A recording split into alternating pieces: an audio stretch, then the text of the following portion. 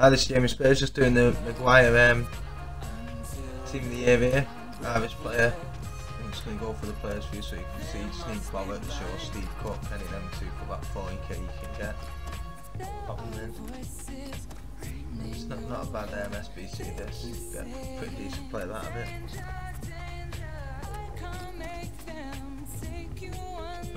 Just copied that team, you should be okay. You might need a bit of loyalty, just play there, it 10 times, dashboard. Just keep doing that over and over again. Glad to get loyalty.